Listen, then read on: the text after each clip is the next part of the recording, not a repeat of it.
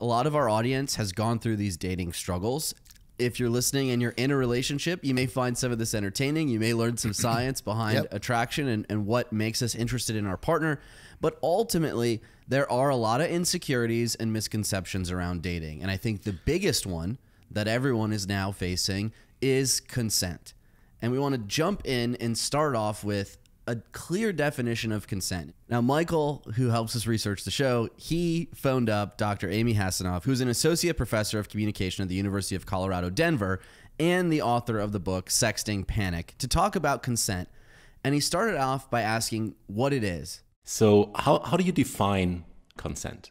So, a definition that I really like has four parts, um, and those are that consent has to be clear, coherent, willing, and ongoing.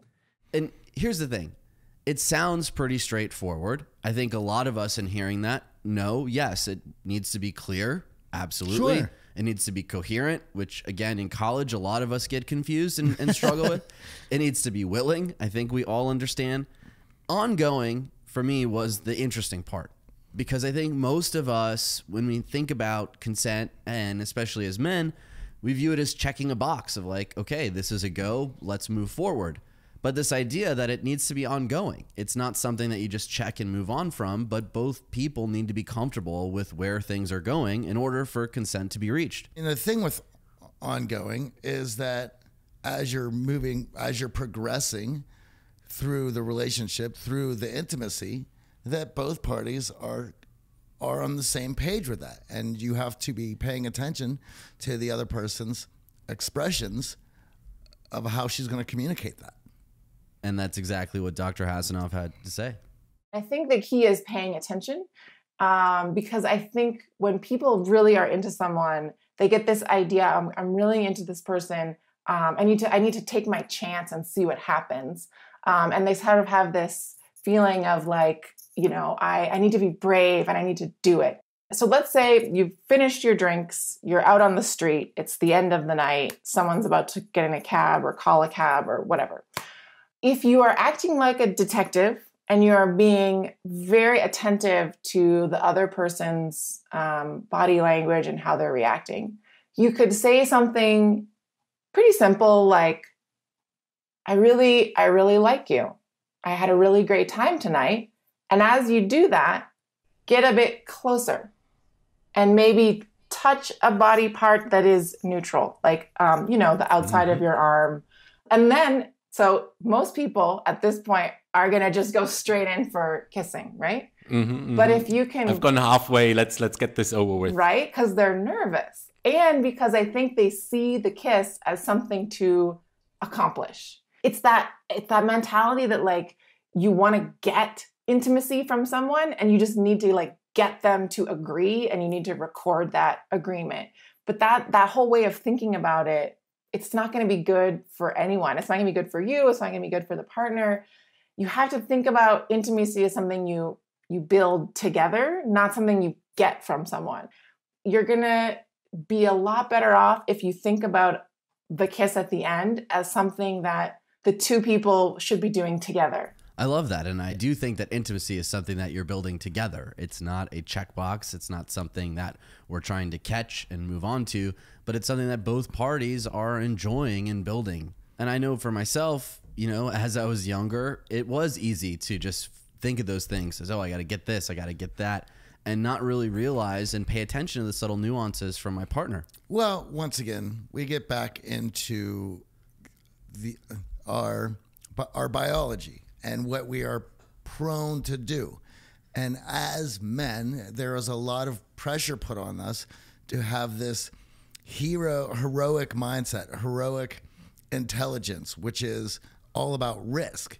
And if you're unwilling to take these big risks, well, then you're not really a man. And we have to shatter that script. That is an old script.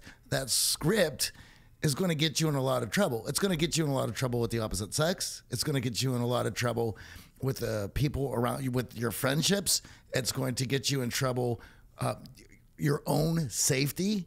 And so, we rather than looking at it as an heroic intelligence, we have to look at it as an emotional intelligence. And what I love that she said there is being the detective and paying attention to not only verbal consent, but nonverbal consent.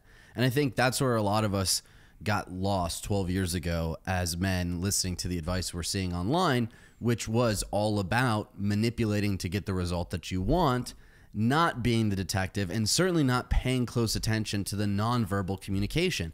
And in fact, that's why we started the boot camp 12 years ago was to hone in on our nonverbal communication. So these Yes. signals that are subtle and nuanced can give us clues into is this going in the right direction? Is this going in the wrong direction? Is this person comfortable or uncomfortable? But unfortunately, when all we focus on is the words, we don't get that subtlety. And that's when we become the oaf. That's when we become someone who's unattractive. Well, that emotional intelligence is going to play a role in every aspect of our lives. So it's going to play, as I was saying, it's going to play a role with our friendships, with ourselves, with the, the romantic relationships in, in our lives.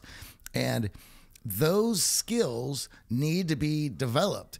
The heroic intelligence, that's biology, that's programmed in. Everything else beyond that uh, takes rising above that primal The croc brain. the croc brain and and then uh, thinking your way through things and that needs developed and that takes time and that takes patience Yeah, and unfortunately, there's bad advice out there that may get you that that check mark, get you the physical intimacy, but ultimately leads to regret, leads to the other person feeling unsafe and uncomfortable. well th- this is why young boys get confused because they can find information on the internet that feeds the croc brain and allows them the croc brain to feel good of oh this is how I'm going to be a man this is what I'm going to need to do. And it it feeds into all those inner intuitions that are looking to take control However, it is though that simple programming that is going to get you in trouble if you allow it to do its thing. We have tons of simple programming that gets us in trouble. How about the simple programming that tells us, "Hey, that McDonald's cheeseburger is just as good as eating Salad. The, the, the Whole Foods that you know is much better for you." But if I go with the Croc brain and crock eat the French fries. I'm going to get sick. And so once again, we're trying to override another primal system. This one just happens to be the sexual primal brain. and Dr. Hasinoff makes a great point about that, Johnny. The problem is our sexual script in our culture is usually not great for anyone because it involves not really um, thinking about consent, not talking about consent, verbal or nonverbal, right? It involves usually men being told they're supposed to be aggressive and women being told, well, you don't want to be rude, you don't want to reject anyone. You're just sort of supposed to wait and see what happens. And you're also not supposed to make the first move. But there are plenty of hmm. women who would love to be able to make the first move. And it would be hmm. better for everyone if it was more shared, right? Like if sometimes the woman was the one who sort of leaned in and said, Oh, I, your eyes are so beautiful, or whatever, you know. Oh yeah, a lot. I think a lot of guys would be really happy if that if Right? that were happening because it takes a lot of panic out of the dating market. Yeah. Exactly, exactly. And it's so, it's a lot less common. Like some women will do it, but it is so much less common because people are on a date and the guy ha- gets the idea like, it's my job to go in for the kiss. But hmm. he's not even that interested in the woman he's on a date with. But he just kind of feels like, well, this is what you do at the end of the date. You go in for the kiss. Now that we have a definition of consent, which is just paying attention to what the other person is saying and doing and their actions, and it's continuous, we can start to move forward in a smart way.